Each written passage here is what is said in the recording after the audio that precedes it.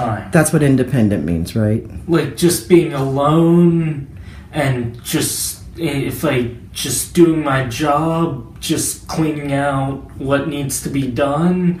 And if I need to go on a na- if I need to go on a call, I can do it by myself when I pass the test. And Right.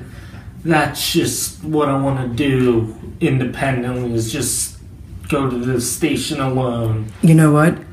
Wait, When you pass all these tests, if you become an EMT, you will get to go alone. You're not going to have a job coach or an aide. You'll, you'll be able to do it alone, okay? Um, but for now, I know last week when you were doing the ambulance, you said, Oh, I just want to do this alone. But we still need Jada there and Margaret to help while you're learning, right? Also to keep you safe. Just in case something happens. Like, yeah, what if something happened? What if you slipped or hurt yourself? Right? At least you'll be at where there's people who know what to do, right? Because you'll be where the ambulances go. Yeah, but I mean, like, mom said maybe in May I could be by myself if I'm independent. I can go by myself. Go where? To to the firehouse? She said maybe in May.